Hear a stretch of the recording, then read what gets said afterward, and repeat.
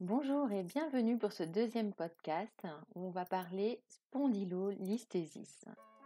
Je m'appelle Muriel, je suis kiné, ostéopathe, passionnée de yoga et je suis auteur du blog adaptersonyoga.com. Alors aujourd'hui, on va se poser la question de la cambrure et du spondylolisthésis. Faut-il avoir peur de cambrer avec un spondylolisthésis L'idée m'est venue parce que j'ai vu cette question posée par un professeur de yoga sur un groupe Facebook qui s'interrogeait. Elle venait d'avoir une nouvelle élève et qui souffrait d'un spondylolisthésis. Visiblement, l'élève était très stressée, très inquiète euh, par son spondylo. On va, on va prendre ce petit raccourci, si vous voulez bien, ce spondylo. Et, euh, et le professeur de yoga voulait l'amener vers un peu plus de cambrure, qu'on appelle aussi de la lordose. Et visiblement, l'élève était très angoissée. Il y avait la même problématique pour les rotations. Donc l'élève se souvenait que son médecin lui avait dit des années auparavant qu'il ne fallait surtout pas cambrer ni faire de rotation, et elle était restée dans cet ancrage-là. Donc le professeur se demandait si c'était juste ou pas de la faire sortir de ce verrouillage. Voilà, moi également en tant que kiné, ça m'est arrivé de me poser cette question face à des patients qui étaient verrouillés dans une rétroversion du bassin protectrice et avec des spondylolisthésis et où je voyais bien que la statique n'était pas respectée, où j'avais eu envie de les faire sortir de la lordose. Donc voilà, c'est cette problématique-là qu'on va essayer de, de dégrossir aujourd'hui, savoir si oui ou non on peut cambrer avec un spondylolisthésis. Et vous avez déjà compris que la réponse, elle ne peut pas être catégorique. Ça dépend bah, du thérapeute, du prof de yoga, de son niveau d'expérience. Ça dépend aussi du type de spondylolisthésis et puis évidemment de la douleur de l'élève et des, de la clinique. Euh, donc on va commencer par la base peut-être et rappeler ce qu'est un spondylolisthésis. Alors euh, c'est déjà un terme très compliqué à entendre et je suis désolée mais ce cours va être un petit peu technique. Je vais essayer de le vulgariser au maximum, d'employer du vocabulaire simple. Mais puisqu'on parle spondylolisthésis, je ne peux pas vraiment le remplacer par un autre mot, si ce n'est que spondyle, ça veut dire vertèbre en grec ancien, et holisthésis, glissement. Donc on peut éventuellement remplacer le terme par un glissement vertébral. Voilà, donc un spondylolisthésis, c'est le glissement d'une vertèbre. En fait, la vertèbre peut glisser dans tous les sens. En avant, on appellera un antélisthésis, sur les côtés ou en rotation. On parle d'une dislocation rotatoire. C'est uniquement dans les cas de scoliose de l'adulte. Donc, le spondylolisthésis, c'est le glissement d'une vertèbre. On a pris une convention où on définit le mouvement de glissement par euh, celui de la vertèbre du dessus. Donc, quand on vous dit un euh, spondylolisthésis L5 sur S1, c'est donc L5, la dernière vertèbre lombaire, la plus basse, qui a glissé en général en avant sur le sacrum, S1 étant la première vertèbre sacrée. Donc dans la plus grande majorité des cas, le glissement se fait vers l'avant. On a classifié euh, ce glissement en quatre grades suivant l'intensité du déplacement. C'est la classification de Meyerding. Et on a quatre grades, donc de 1 à 4. Et euh, le cinquième grade existe, en fait, c'est la spondyloptose. C'est quand euh, carrément la, la, vertèbre a tellement glissé qu'elle n'est plus en contact avec celle du dessous. Les spondylolisthésis, donc les glissements vertébraux, n'existent que sur les étages du rachis qui sont très mobiles et en lordose, donc en cambrure, c'est-à-dire le niveau lombaire et le niveau cervical. On n'en trouve pas au niveau dorsal. Alors, euh, vous allez me dire, bah, c'est simple alors, euh, si le spondylolisthésis n'arrive que dans les niveaux en cambrure, il suffit de ne pas cambrer, alors on n'aura pas de spondylolisthésis. Alors voilà, c'est trop simpliste pour être vrai. Donc on, va détailler encore un petit peu euh, euh, ce qu'est un spondylolisthésis. Alors, il faut que vous sachiez que hum, le spondylolisthésis, il y a plusieurs formes. Et la forme la plus commune, hein, celle que vous verrez en général euh, dans vos cours de yoga, c'est le spondylolisthésis. Attention, je vais dire encore un gros mot. C'est le spondylolisthésis par lyse ismique. C'est-à-dire que la lise, c'est la destruction ou fracture de l'isthme. L'isthme, c'est une partie de la vertèbre euh, située sur l'arc postérieur c'est la partie de la vertèbre qui supporte les massifs articulaires. Bon, je ne vais pas trop vous compliquer la tâche. vous savez que la vertèbre, on a en avant le corps vertébral et en arrière ce qu'on appelle l'arc postérieur. C'est un arc qui supporte des parties articulaires et qui vient protéger la moelle épinière. Donc au centre de cet arc, j'ai un trou, un foramen, un passage pour la moelle épinière. Alors, une partie de cet arc se fracture et j'ai une partie qui reste en arrière, une partie de ma vertèbre qui reste en arrière et une partie qui va glisser en avant. Alors déjà, ça vous inquiète sans doute un petit peu et, vous avez raison, vous vous dites, mais alors la moelle épinière dans tout ça? Bah, En général, il n'y a pas de risque neurologique dans les faibles déplacements. Donc le spondylolisthésis débute par une lise de l'isthme.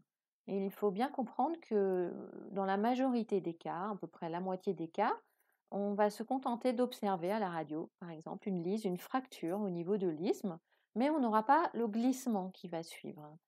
Et d'autre part, on ne sait pas trop vraiment pourquoi certains spondylolisthésis vont évoluer et pas d'autres. Mais on a des facteurs pronostiques un petit peu.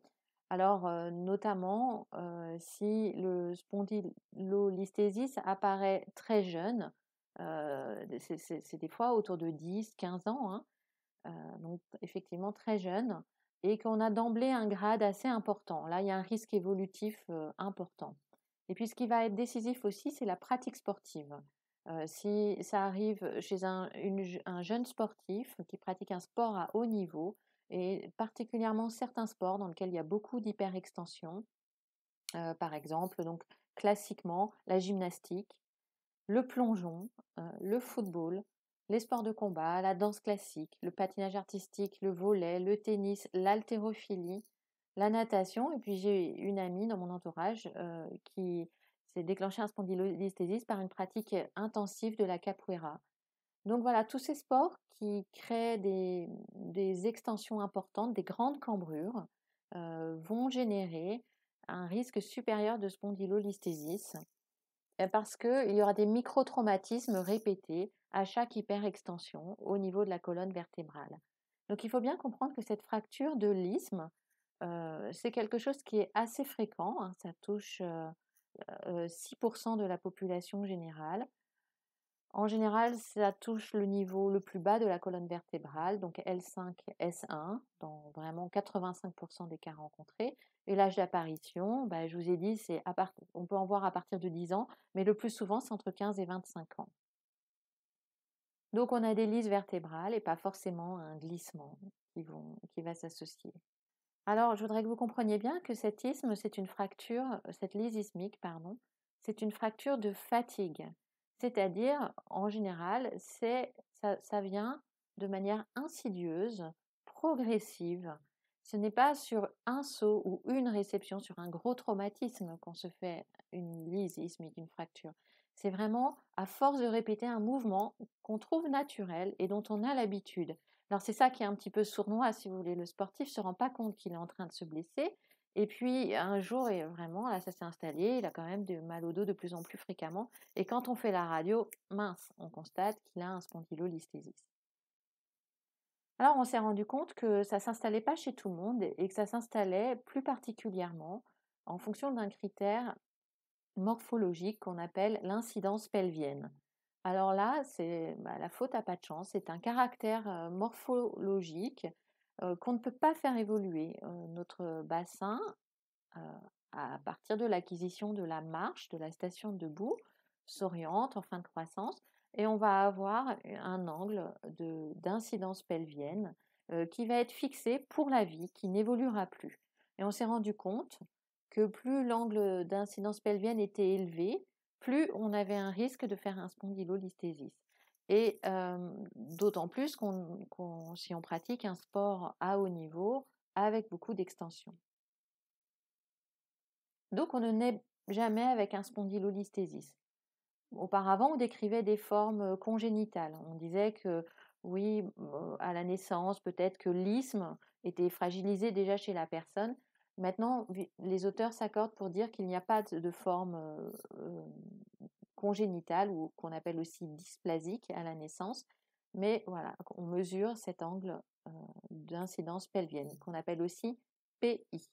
Le spondylolisthesis peut être indolore ou peu douloureux, hein, ça peut évoluer par crise, et le, jeune sportif ou la jeune personne ne s'en rend pas compte. Et puis, finalement, on peut aussi considérer que ça peut être une chance hein, si on a un spondylolisthésis à bas grade avec peu de déplacement, qu'il est diagnostiqué suite à une radio. Ça va être l'occasion de faire de la rééducation à un jeune âge, d'améliorer sa posture, de comprendre ce qui dysfonctionne dans notre équilibre, et puis d'apprendre des mouvements d'hygiène vertébrale. Donc voilà, ça, ça, se traite, il y a un traitement rééducatif à faire, et c'est intéressant de le faire jeune, évidemment.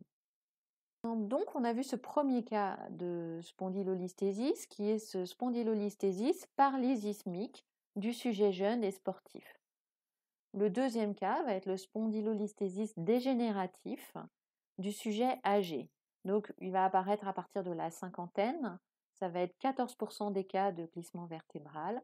Et lui, il va être un niveau plus haut. Donc, il va se situer entre, en général, sur la vertèbre L4 qui va glisser en avant de L5.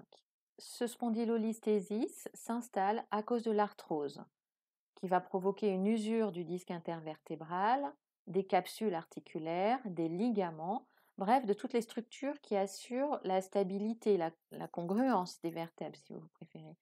Et du coup, euh, la colonne se trouve hyper mobile et hop, la vertèbre euh, part en avant. Donc là, on est sur un cas d'instabilité vertébrale, euh, d'hyperlaxité quelque part vertébrale liée à l'arthrose. Donc dans ce cas-là, d'emblée, vous comprenez bien qu'aller chercher beaucoup de mobilité, c'est sans doute pas la bonne démarche, puisqu'il y en a déjà trop sur ce niveau-là. Par contre, peut-être qu'il n'y en a pas assez à d'autres endroits. On va en parler plus tard. Ce qui favorise ces spondylolisthésis liées à l'arthrose, ça va être eh ben, le fait d'avoir fait des efforts physiques intenses, d'avoir beaucoup porté, beaucoup manutentionné, des travaux répétitifs ou le port de charges lourdes. Et là, c'est pareil. En général, on a une évolution lente, insidieuse, ça s'installe sur plusieurs années. Il y a un troisième cas de spondylolisthésis qui est beaucoup plus rare et qui de toute façon ne s'adressera pas ni à la rééducation ni encore moins au yoga. C'est euh, voilà, le spondylolisthésis sur un traumatisme très important, une maladie infectieuse ou une tumeur. Bon, là évidemment, hein, le traitement est médical ou chirurgical. Donc, vous voyez déjà, si vous êtes prof de yoga et que vous devez prendre en charge un élève souffrant de spondylolisthésis, vous, devez déjà vous demander dans quel tableau clinique vous vous situez. Est-ce que c'était un jeune sportif qui a créé une lysismique puis un glissement antérieur ou est-ce que c'est plutôt un rachis arthrosique trop mobile? Très important de poser des questions et d'interroger sur l'histoire de la maladie pour savoir quelle rééducation vous allez mener ensuite. Alors comment va se présenter la personne qui souffre d'un spondylolisthésis D'abord, il peut ne pas être douloureux du tout hein, et pendant des années, il peut rester asymptomatique. Et puis ensuite, on peut avoir trois tableaux cliniques douloureux. Et ça, c'est vraiment important que vous le compreniez aussi. Il y a le tableau le plus simple, c'est celui où la personne se contente d'avoir mal au dos. On parle alors de lombalgie. Alors le patient a mal au dos, par exemple parce que euh, il y a des contraintes excessives sur l'arrière de la colonne vertébrale, donc sur ce qu'on appelle les articulaires postérieurs. Ça va être la personne qui a des douleurs à l'effort, qui se sent mieux quand elle se repose. Ça peut être d'un côté, des deux côtés. Oui, parce que je ne vous ai pas dit, mais le spondylolisthésis peut être asymétrique aussi. Ce patient, en général, se présente avec une forte augmentation des courbures rachidiennes, c'est-à-dire il a une grande cambrure, mais aussi un grand dos rond. souvent, il va mal supporter les stations debout prolongées et il va mal supporter aussi le fait d'être strictement allongé à plat. Il va avoir besoin de mettre un coussin sous les genoux, par exemple, quand il est allongé sur le dos il peut avoir des signes de souffrance du disque intervertébral parce que vous vous doutez bien que dans ce glissement, le disque intervertébral est cisaillé. donc il à ce compte-là, il aura plutôt une douleur en barre, assez symétrique. Et puis, il aura des douleurs qui vont augmenter quand il fera des efforts hyperpressifs, à la toux, à l'éternuement, quand il va porter des charges lourdes, hop, ça va lancer dans son dos. Mais bon, il faut que vous compreniez aussi qu'en général, la douleur lombaire, elle est dure à décrypter et que surtout, surtout, il faut essayer de ne pas l'associer à une structure en souffrance. Ça sert à rien d'essayer de comprendre très précisément ce qui se passe dans le dos et pourquoi votre patient a mal, parce qu'en réalité, euh, la douleur est toujours multifactorielle, surtout si le patient souffre par crise depuis plusieurs années, que la douleur est devenue chronique. Donc, on peut dire, pour simplifier, que la douleur, c'est ce que le patient sent, donc la structure abîmée. C'est ce que le patient ressent, c'est l'émotion qu'il met derrière. Ah, ça me fait peur, euh, cette douleur, j'ai l'impression que peut-être je vais rester paralysée euh, plus tard. Euh, voilà, donc ça c'est très important, c'est de, dédramatiser ça, parce que ce ressenti, cette peur, elle ne fait qu'amplifier les phénomènes douloureux. Et puis, il y a aussi ce qu'on pense de son spondylolisthésis, le contexte d'apparition. Ah ouais, c'est cette réception à la gym, là vraiment, j'aurais pas dû, ou la capoeira, ou j'en sais rien. Voilà. Et donc, c'est très intéressant de, de, questionner le patient sur ce qu'il pense de sa douleur, ce qu'il en ressent. Alors ça, c'était donc les douleurs plutôt simples qui sont les douleurs lombaires. Alors, je vous demande vraiment toute votre attention parce que ce qu'il va falloir vraiment dépister, ce sont les douleurs neurologiques. Alors vous allez en trouver de deux types. La première, ça va être la douleur qu'on appelle radiculaire. Bon, c'est un terme un petit peu technique. Radiculaire, ça veut dire une douleur de la racine nerveuse. Donc la racine nerveuse, elle peut être comprimée par le spondylolisthésis. Auquel cas, le patient va présenter le plus souvent une forme de sciatique, de sciatalgie. C'est-à-dire qu'il va avoir des douleurs neurologiques à l'arrière de la jambe ou sur le côté de la jambe, jusqu'aux pieds, jusqu'aux orteils. La sciatique, quoi. Vous en avez forcément entendu parler. Ça va se manifester par des sensations euh, étonnantes qu'on appelle des paresthésies. Alors ça peut être sous forme de fourmillement, de brûlure, de décharge électrique, de picotement, d'engourdissement de la jambe, de démangeaison, peut-être des fois une sensation de froid douloureux. Et ça peut concerner toute la jambe ou simplement une partie de la jambe. Il n'est pas rare d'avoir des douleurs uniquement dans le mollet ou le pied. Alors là, il faut vraiment que vous compreniez que cette irradiation, c'est une douleur, une souffrance de la racine nerveuse et qu'il faut vraiment l'arrêter. dès que vous proposez quelque chose à votre élève qui réveille cette irradiation, il faut l'arrêter. Les douleurs neurologiques sont rebelles, elles sont vraiment difficiles à traiter, même au niveau médicamenteux, et plus on comprime la racine nerveuse, plus on crée un chemin de douleur neurologique. Donc ça, c'est vraiment important aussi d'éduquer votre patient, votre élève, à ne pas aller vers des postures, des mouvements qui réveillent la douleur neurologique. Il y a peut-être des douleurs sur lesquelles il faut forcer. D'ailleurs, c'est souvent le cas sur les lombalgies. Moi, j'écoute pas trop, en tant qu'iné, j'écoute pas trop mes patients qui se plaignent des lombaires. Par contre, s'ils se plaignent d'une irradiation, ça oui, j'écoute et j'arrête la posture. Puis le deuxième tableau clinique, il est plus rare, c'est le syndrome de la queue de cheval. Je ne sais pas si vous avez déjà entendu ce terme, mais en fait, euh, ce canal lombaire dont je vous ai parlé, cet arc postérieur des vertèbres, entoure la moelle épinière, mais dans la partie basse du rachis, on n'a plus la moelle épinière, on n'a plus que des, euh, des nerfs lombaires et sacrés. Et ces derniers nerfs-là, qui sortent de la moelle épinière et qui descendent dans le canal vertébral, on les appelle les nerfs de la queue de cheval. Et donc ces nerfs-là peuvent être comprimés par l'arthrose en général. Hein. Ça, c'est vraiment plutôt la pathologie de la personne âgée. Donc ça va être ce canal lombaire qui va être rétréci à cause peut-être de, des bords discaux ou de hernie discale, ou bien parce que les ligaments vieillissants s'épaississent, parce qu'il y a de l'arthrose qui a pris de la place, et puis peut-être des fois avec des formes qu'on appelle des becs de perroquet. Donc ces becs de perroquet doivent trouver leur place et les nerfs dits de la queue de cheval se trouvent comprimés.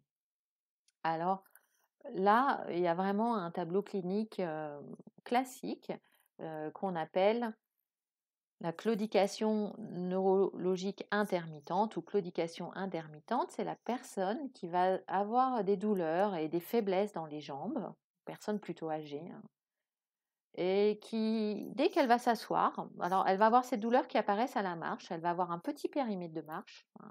elle va marcher peut-être 400 mètres et puis elle va avoir mal aux jambes, elle va devoir s'arrêter, puis dès qu'elle s'arrête, assise, hein, j'insiste, dès qu'elle est assise, un peu penchée en avant, les mains sur ses genoux ou sur sa canne, euh, donc le fait d'être en flexion du tronc, ça réouvre son canal lombaire et puis les douleurs se calment. Et puis elle peut repartir pour 400 mètres et puis elle va devoir de nouveau se rasseoir voilà, c'est cette claudication intermittente.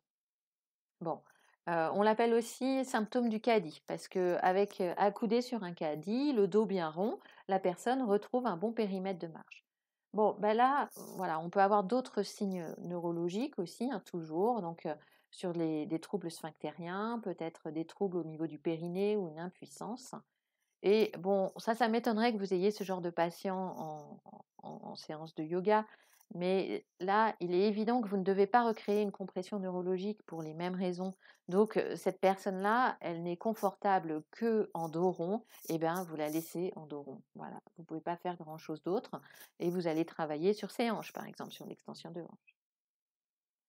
Alors, comment on va poser le diagnostic de, du spondylolisthésis On va le poser par une imagerie. Donc, la personne se plaint de douleurs lombaires et puis on va proposer une radio alors, ce sont des radios un peu spéciales de trois quarts hein, qui permettent de bien voir le, le spondylolisthésis. On peut faire un scanner, une IRM, et je vous recommande vraiment, si vous avez accès à ça, de faire réaliser une radiologie EOS, si EOS, hein, si vous avez accès à cette technologie dans votre, dans votre bassin de vie. C'est encore un petit peu rare, mais c'est mieux, il y a moins d'irradiation et puis ça permet une reconstruction 3D, donc c'est très intéressant pour suivre en plus ce fameux équilibre sagittal dont on va beaucoup parler par la suite. Dans certains cas, on fait une scintigraphie osseuse hein, chez le jeune sportif parce qu'on a quand même toujours un doute s'il y a des lombalgies qui sont apparues violentes d'un coup. On fait la scintigraphie osseuse, ça permet de savoir si le spondylolisthésis est récent ou s'il s'est installé progressivement. Et s'il est récent, ça, ça incitera peut-être plus soit à un repos sportif, soit à une immobilisation en corset, bien que ce soit controversé. Donc au niveau du traitement, bah, voilà, vous avez compris, hein, on va faire un traitement médicamenteux pour soulager la douleur, et puis de la rééducation, hein, on, va, bien détailler ça dans une deuxième partie. On peut faire une infiltration, surtout s'il y a des, des qui sont apparues hein, sur les irradiations neurologiques. On peut parfois immobiliser en corset, mais comme je disais, tous les auteurs ne sont pas vraiment favorables à cette solution. Et puis, pour ce qui est du jeune sportif de haut niveau, est-ce qu'il faut le mettre au repos? Est-ce qu'il faut poursuivre le sport? Donc bah, ça, c'est vraiment une décision médicale hein, qui va être prise en fonction du grade, en fonction de, l'impact neurologique. Voilà, donc c'est une décision médicale. Et, là, clairement, il n'y a pas non plus de consensus. Hein, c'est vraiment au cas par cas. Bon, alors dans certains rares cas, j'insiste sur le fait que ce sont des cas rares, euh, ben, le traitement médical et rééducatif ne suffit pas. Alors on, s'oriente vers une décision chirurgicale. On va la prendre dans trois cas, cette décision chirurgicale. Si le patient n'a que des douleurs lombaires, on ne lui proposera la chirurgie qu'en dernier recours. Quand vraiment, si vraiment les douleurs lombaires deviennent ingérables pour lui, qui a un fort impact psychosocial, donc qu'il ne peut plus travailler, qu'il est dépressif, qu'il ne trouve plus le sommeil, que ça impacte énormément sa qualité de vie, qu'il n'en peut plus en somme, on va lui proposer une chirurgie.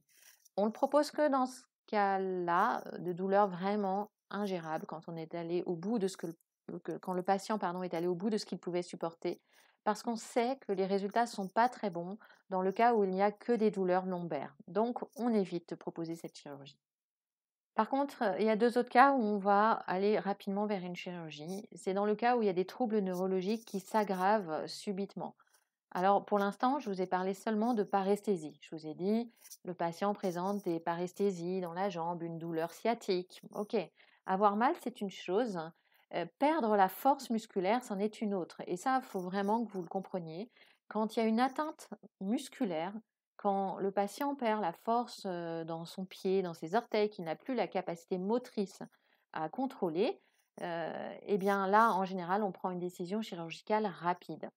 Ça va être le cas également si subitement il y a des troubles sphinctériens qui apparaissent avec une incontinence urinaire ou anale ou des pertes de sensation dans la zone du périnée. Là, c'est pareil, ça va être une urgence chirurgicale parce que ça évoque une compression neurologique franche. Et on sait que plus la compression dure, moins on a de chances de récupération. Donc, on ne veut pas laisser un patient avec une paralysie sur des muscles des orteils. Alors, ça peut vous paraître anecdotique, hein, la paralysie des muscles des orteils. Mais alors, pas du tout, parce que ça va être extrêmement gênant à la marche, avec peut-être un pied qui va être tombant à la marche, et ça va avoir un impact fonctionnel majeur. Donc, voilà, on réagit vite en chirurgie. Et d'autre part, il faut que vous compreniez que il y a la récupération donc est meilleure si on lève la compression rapidement. Et il faut que vous, compreniez que si une racine nerveuse a été comprimée trop longtemps, eh bien malheureusement, il n'y a pas de très peu de possibilités de régénération du nerf. Voilà. Donc parfois, j'ai entendu des critiques qui avaient été émises suite à des arthrodèses, puisque donc la chirurgie consiste en ce qu'on appelle une arthrodèse, c'est-à-dire une immobilisation des deux vertèbres concernées. Donc par des vis qu'on va implanter au niveau des corps vertébraux et ce sont des vis qu'on va garder à vie, que le patient va garder à vie. Donc il va perdre à tout jamais la possibilité de bouger ces deux niveaux qui vont être immobilisés. Alors, on appelle ça une arthrodèse. J'ai parfois donc entendu des critiques par rapport à une arthrodèse qui était posée trop rapidement. Moi, voilà, je voudrais vraiment insister sur le fait que, quel que soit votre avis sur la question, la première des choses, c'est êtes-vous capable d'évaluer le risque neurologique? Personnellement, moi, je ne suis pas capable. Il m'est déjà arrivé en soins d'avoir des patients que je suivais, par exemple, plutôt pour une hernie discale. ça m'est arrivé, voilà, une patiente que je suivais depuis plusieurs semaines pour une hernie discale avec une sciatique, et la paralysie des orteils est arrivée à un moment donné en cours de traitement. Bah, je peux vous dire que j'étais pas tranquille et j'ai pas pris la décision. Je l'ai envoyé tout de suite en urgence chez un neurochirurgien qui l'a opéré dans la foulée dans la semaine. Mais voilà, je, j'étais, pas tranquille. Voilà, c'est donc vous ne pouvez pas savoir, vous n'avez, vous n'avez pas a priori la compétence pour tester le déficit neurologique. C'est pas de votre sort, c'est pas du mien non plus en tant que kiné. Sachez que ça existe et vous passez la main. La décision, elle est prise par le neurochirurgien. Et jamais de gaieté de cœur. Voilà, ça c'est le premier point. Le deuxième point, c'est que quel que soit votre avis sur l'arthrodèse, ce patient s'est fait opérer. Il se présente à vous, il a une arthrodèse et vous en pensez ce que vous voulez, mais vous le gardez pour vous parce que lui, ce patient, il a besoin que d'une chose, c'est d'être encouragé et d'être rassuré. Ça va être un facteur vraiment important pour qu'il adhère à, vos soins et pour qu'il se sente en confiance, qu'il ressente cette alliance thérapeutique entre le chirurgien, le kiné et vous, peut-être si vous êtes prof de yoga. En tout cas, cette approche positive va vraiment l'encourager. Donc, s'il vous plaît, voilà, je, comprends que ça puisse être étonnant de voir ces vis sur une radio, mais gardez vos impressions pour vous. Et d'autre part, sachez que la récupération après une arthrodèse est plutôt bonne en fait. Donc, je vous ai déjà dit, sur les douleurs lombaires, c'est vrai que le résultat n'est pas excellent. Mais en général, le résultat est bon sur les douleurs d'irradiation. Donc, toutes ces douleurs neurologiques dans la jambe, cette sciatique, et puis, le résultat est excellent au niveau moteur, c'est-à-dire que le patient récupère toute la possibilité de motricité au niveau de ses orteils ou de, la force dans sa jambe, et aussi au niveau sphinctérien. Donc voilà, les enjeux sont quand même importants et à mon avis dépassent notre champ de compétences. Alors maintenant, on va s'intéresser à vraiment ce qui est votre cœur de métier, c'est le traitement rééducatif. Qu'est-ce qu'on va faire en rééducation? Qu'est-ce qu'on va pouvoir proposer en rééducation à un patient qui souffre d'un spondylolisthésis? Donc, on a vu qu'on ne pouvait rien faire pour la forme de son bassin. Son incidence pelvienne élevée, bah, voilà, elle est de naissance, elle ne changera plus. Hein. Elle évolue un peu pendant la croissance, mais ensuite, elle ne changera plus.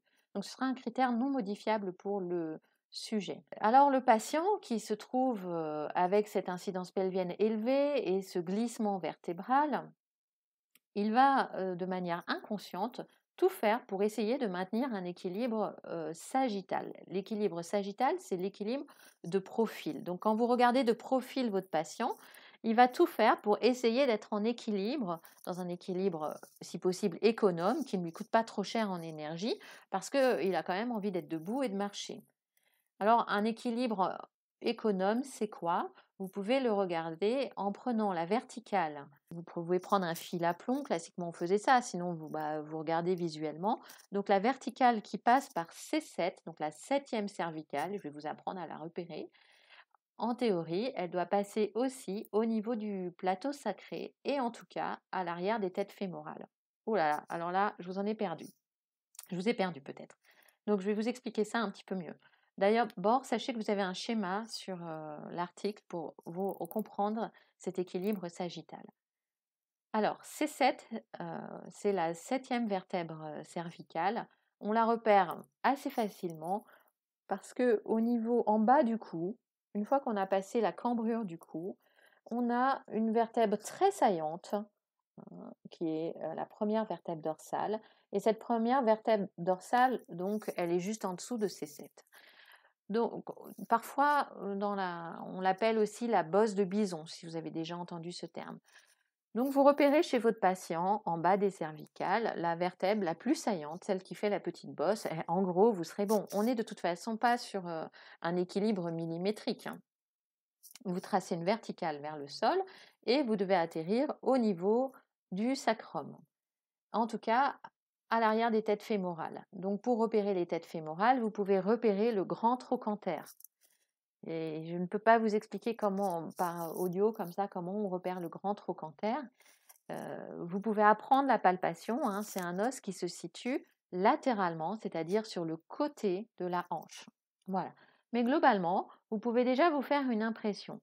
Tiens, mon patient, il a une cambrure lombaire qui est compensée par un dos rond, une syphose au niveau dorsal. Et est-ce que le tout forme une verticale à l'aplomb du bassin ou est-ce que c'est déjeté en avant? Alors, vous devez comprendre que ce patient, de manière tout à fait inconsciente, il a essayé déjà lui-même de restaurer son équilibre. Parce que cette vertèbre qui est partie en avant, elle a décalé son centre de gravité vers l'avant. Donc, il a déjà essayé de se replacer. La première décompensation qu'il va mettre en place, c'est qu'il va se mettre à cambrer pour replacer sa ligne de gravité. Il va créer une lordose. Cette lordose, elle est donc utile parce qu'elle lui sert à s'équilibrer. Donc vous avez déjà partiellement une partie de la réponse. On ne va pas lui supprimer la possibilité de cambrer puisque cette cambrure l'aide à rester en équilibre économe. Donc mon patient cambre tant qu'il peut. Mais en vieillissant, et puis de toute manière, même sans vieillir, il va arriver à une certaine limite de cambrure. Oui, je voulais dire qu'en vieillissant, comme les disques intervertébraux perdent de leur hauteur, naturellement, on perd une capacité à cambrer. Donc une fois que le patient a cambré tout ce qu'il pouvait, hein, qu'il est arrivé au bout de sa compensation, il va rétroverser son bassin. Alors rétroverser le bassin, ça veut dire quoi? Ça veut dire qu'il rentre le coccyx et qu'il essaye d'arrondir, si vous voulez, le bas de son dos, de rentrer ses fessiers. C'est pareil, je vous invite à regarder les schémas parce que je comprends bien que à l'oral, sur un podcast comme ça, c'est pas évident de comprendre ces notions. J'ai écrit un article sur les placements du bassin qui va vous aider à bien les visualiser. Donc mon patient, il a déjà cambré, puis il s'est mis à rétroverser ça lui permet d'avancer ses têtes fémorales et donc ça lui permet de reculer hein, ce poids du corps qui est parti en avant avec le glissement vertébral. Et puis, dernière, en tout dernier recours, quand il est allé au bout de sa cambrure et au bout de sa rétroversion, eh ben, il va fléchir les genoux. ça va lui donner encore un petit peu plus de possibilités de rétroversion et c'est quelqu'un qui, même debout, va toujours rester genoux un petit peu fléchis. Ça va être plutôt sur un âge un petit peu avancé. Alors, le thérapeute dans tout ça, à quoi il va servir? Il va servir à offrir au patient toutes les possibilités de compensation. En fait, vous savez, pour, pour même pour moi maintenant, après 20 ans d'exercice, c'est très difficile pour moi de savoir parfaitement aligner un patient. Hein. Je n'ai pas complètement l'idée de ce qui se passe à l'intérieur. Mais je, préfère laisser son corps s'organiser au plus simple pour lui. Parce que je ne peux pas prendre en compte toutes ces difficultés de placement, tout ce qu'il a équilibré, toutes ces compensations. Il a des compensations peut-être au niveau viscéral, hein, il a eu peut-être une appendicite, vous voyez, qui a créé des adhérences. Il a tout un vécu qui fait que théoriser un équilibre euh, sagittal parfait, c'est très compliqué. Mais mon but en tant que thérapeute, c'est de lui donner de la mobilité partout où je peux lui en donner pour que de lui-même, il trouve l'équilibre qui est le plus, lui, le plus profitable et le plus économe. Parce que ce que vous devez comprendre, c'est que quand le patient a trouvé un équilibre économe, c'est-à-dire qu'il ne demande pas trop d'efforts musculaires pour le tenir, eh ben, en général, il a plus mal. Il a plus de tension parce que c'est cool, c'est dans la détente. Et de la même manière, en général, le spondylolisthésis n'évolue plus parce que le patient est équilibré, donc il a réussi à se placer, ça n'évolue plus. Si on arrête les contraintes trop importantes. Donc on va explorer ce patient depuis les hanches jusqu'au cervical pour lui donner le maximum de ressources pour que de lui-même, il trouve son meilleur équilibre sagittal. Alors il va falloir l'éduquer énormément, ce patient. Hein. Il va falloir lui, faire développer son schéma corporel, lui faire comprendre toutes les mobilités. Dans le bassin, tiens, regarde ce qui bouge, dans les lombaires, dans les dorsales, les omoplates, et puis dans les hanches, évidemment. Donc on ne va pas forcément rechercher de façon systématique la rétroversion, mais on va vérifier qu'il y a une bonne amplitude possible. On va lutter contre tous les facteurs qui vont l'empêcher de créer ces adaptations. Alors les facteurs, c'est toujours les mêmes. Hein. Ce sont les contractures, les raideurs, le manque de mobilité, le manque de souplesse. Et on va la traquer, à cette raideur, partout où elle peut exister. Alors elle peut exister très souvent dans ce qu'on appelle les muscles sous-pelviens, c'est-à-dire, parlons simple, les muscles des jambes. Alors que ce soit l'arrière des jambes, donc les ischio-jambiers, l'intérieur des jambes, les adducteurs, le quadriceps ou l'extérieur des jambes aussi, le TFL. Il faut vraiment comprendre que si je suis raide dans mes jambes, je bloque mon bassin et je ne peux pas le placer comme je veux. Or, le bassin, un bassin bien placé, c'est ce qui va équilibrer tout mon rachis au-dessus. J'ai aussi le problème des muscles du dos, les spinaux eux, ils vont se contracter en permanence parce qu'ils vont comme ça lutter pour essayer de retenir cette vertèbre qui part en avant. Donc, ils vont essayer de se contracter. Et un muscle contracté, contracturé, c'est un muscle court, c'est un muscle douloureux. et c'est donc un muscle en plus qui va, ces, muscles, ces spinaux contractés vont placer le sacrum en nutation. Bon, vont entretenir l'inclinaison du sacrum vers l'avant et donc vont contribuer encore à créer un toboggan pour la vertèbre qui, qui va demander qu'à glisser. Donc on a tout intérêt à détendre ces muscles spinaux. On va regarder aussi au niveau dorsal, au niveau de la cage thoracique. On va vérifier que ce patient, il a un dos rond. On s'attend à ce qu'il soit rond, mais on va vérifier qu'il soit souple euh, et qu'il puisse euh, s'adapter. Parce que ce qui se passe aussi souvent, un facteur de risque de spondylolisthésis, c'est un dos rond rigide. Ça se passe dans certaines maladies comme la maladie de Scheuermann, qui est une maladie de croissance. Et donc ce patient se retrouve avec un dos rond au niveau dorsal, hein, au niveau thoracique. Il a une bosse, excusez-moi de parler comme ça, hein, évitez d'utiliser ce terme péjoratif, mais je l'utilise là en, podcast parce que c'est sans doute très clair pour vous. Donc il a le haut de son dos qui est plutôt bossu, qui est arrondi. Et si ce dos est raide, eh bien ça fait au moins 12 vertèbres qui ne peuvent pas jouer le jeu des compensations et de rechercher, rechercher l'équilibre sagittal.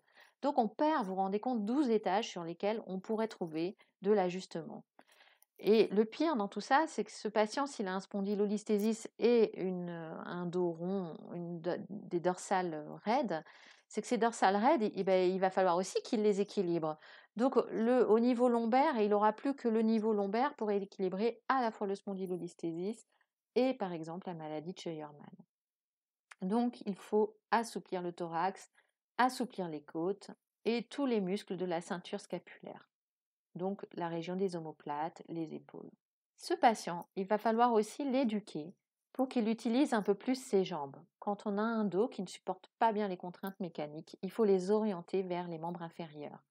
Et pour ça, il va falloir d'abord avoir de la souplesse, et vous l'avez compris, en priorité dans les jambes, dans les hanches, pardon. Et dans les hanches, vous allez devoir impérativement travailler l'extension de hanche. La cambrure, je peux la faire dans mes lombaires, mais je peux la faire dans mes hanches également. Et là, c'est évidemment quelqu'un qui aura intérêt à la faire dans les hanches. Or, l'extension de hanche est une des premières mobilités qu'on perd avec l'âge, mais très jeune. Euh, et on la perd, vous savez, je, vous en ai déjà parlé, pour ceux qui me connaissent, pardon, c'est vrai que tout le monde ne me connaît pas. Euh, c'est ce fameux flexum de hanche, c'est-à-dire ces hanches raides en extension, elles sont hyper fréquentes parce qu'on est toute la journée assis, parce que on est stressé. Bon, voilà, du coup, ça met en, ça, ça précontracte le psoas.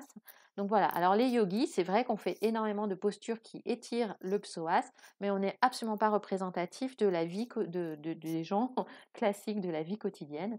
Donc, pensez à travailler les hanches. Alors, les, en yoga, vous me les travaillez toujours en ouverture, mais aussi vraiment beaucoup en extension. D'ailleurs, tiens, je fais une petite aparté. Je vous ai parlé des, muscles des membres inférieurs qui étaient trop raides. Donc, c'est pareil, en yoga, on étire classiquement beaucoup les ischio-jambiers et les adducteurs, mais on pense beaucoup moins souvent au droit antérieur, au droit fémoral. D'ailleurs, dans la première série d'Ashtanga, on n'a même pas de posture qui étire vraiment le droit fémoral. C'est vraiment un tort. C'est un muscle qui est très souvent raidi également. Si vous voulez avoir des, exemples de postures pour tous ces muscles, vous pouvez vous référer à mon article sur le syndrome fémoropatellaire, où j'ai mis des photos de toutes les postures. Alors, ensuite, ce patient, il peut avoir des, douleurs de fessières liées au fait justement que peut-être il s'est installé dans une rétroversion permanente et il aura ce qu'on appelle un syndrome du pyramidal ou syndrome du muscle piriforme. On l'appelle aussi fosse sciatique. Alors, euh, c'est quoi? Ce muscle pyramidal se contracte en permanence à cause des efforts de rétroversion et du cisaillement entre le sacrum et l'iliaque. Donc ce patient va avoir une contracture de ce muscle, sauf que pas de chance, au milieu du muscle ou à proximité, ça dépend des morphologies, le nerf sciatique. Et ce muscle contracturé peut donner une douleur qui va ressembler étrangement à une sciatique, sauf qu'elle aura, donc je vous ai dit, il faut faire attention, dès qu'on a un signe neurologique, là, on se méfie. Mais là, vous allez pouvoir faire la différence parce que cette fausse sciatique, d'abord, elle sera d'origine, elle aura un rythme mécanique. C'est-à-dire que le patient à l'effort aura plus mal, alors que, j'ai oublié de vous le dire, dans les douleurs neurologiques, ce sont plutôt des douleurs nocturnes. Donc ce patient, il aura mal à la fesse et puis à l'arrière de la cuisse. Mais par contre, ça ne descendra jamais sous le genou. Voilà, c'est un patient qui n'aura jamais de signe dans le mollet, dans le pied ou les orteils. Ce sera toujours la fesse ou l'arrière de la cuisse. Pour soulager ce syndrome de fosse sciatique, en général, c'est relativement simple. Il faut faire des postures d'étirement du muscle piriforme. Les postures royales sont celles du pigeon on y va mollo quand même, hein, parce qu'on on tire quand même un petit peu sur le sciatique.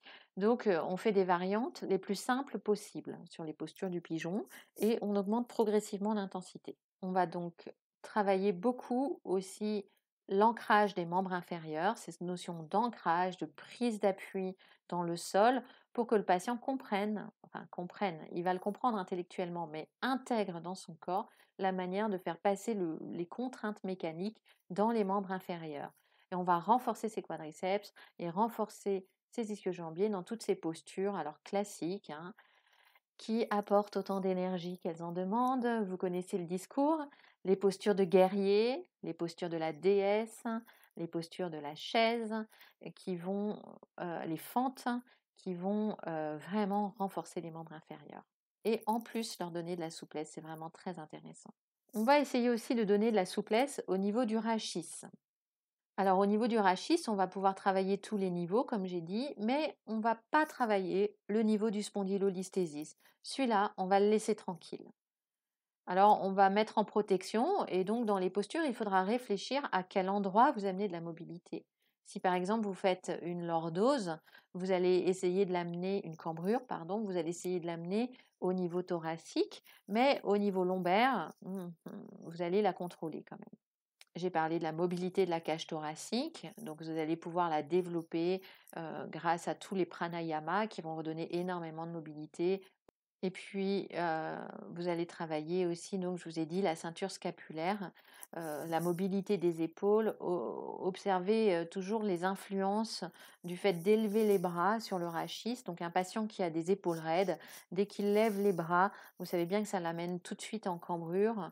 Et voilà, vous devez vraiment comprendre que des épaules libres, c'est aussi moins de contraintes au niveau du rachis lombaire.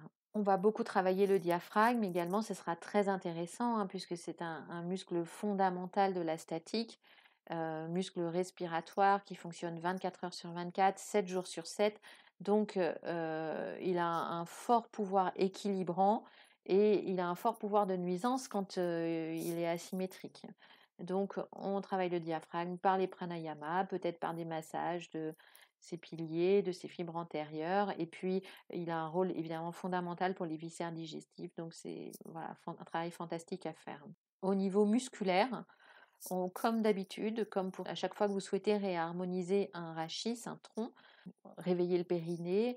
au niveau abdominal, on travaille plutôt le muscle transverse abdominal plutôt que les abdominaux superficiels. Et puis, on, favorise énormément le travail des extenseurs profonds, donc des muscles multifides, avec des postures comme la sauterelle. Voilà. Et ça, vraiment, j'aimerais vous alerter là-dessus. C'est que c'est pareil, en Ashtanga par exemple, on a très peu de travail de renforcement musculaire des spinaux propres. bon, sauf si on maîtrise bien les notions d'autograndissement, mais ce n'est pas le cas en général pour les débutants et les postures qui sollicitent l'arrière du dos n'interviennent que dans la série 2, ce qui est vraiment dommage à mon avis. Tout ce détail de travail musculaire, je vous l'ai rédigé dans le bonus, l'article bonus que vous pouvez télécharger gratuitement sur le site. Enfin, il va falloir éduquer votre patient à l'ergonomie, voilà, un minimum de connaissances, de placement, tiens, bah, si je dois déplacer quelque chose de lourd, bah, il vaut mieux pousser que tirer. voilà, des, positions d'ergonomie quand je dois rester longtemps debout, des choses comme ça. Quand je dois soulever une charge lourde, pardon, le fait de plier les genoux, enfin des, choses connues. Alors le plus important à apprendre, ce sont les concepts de Pilates qui sont résumés par ce terme d'isolation du mouvement.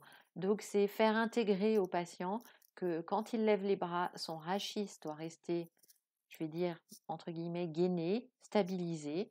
Et quand il va en extension de hanche, c'est pareil, il peut stabiliser son rachis. Bon, une fois qu'on aura tout travaillé, qu'on aura bien fait de l'autograndissement, que le patient sera bien éduqué, donc finalement à verrouiller son rachis en position d'équilibre sagittal. On lui fait trouver sa position d'équilibre et on lui dit maintenant que tu l'as, tu essaies de la garder, tu renforces ton périnée, ton transverse, tu t'autograndis.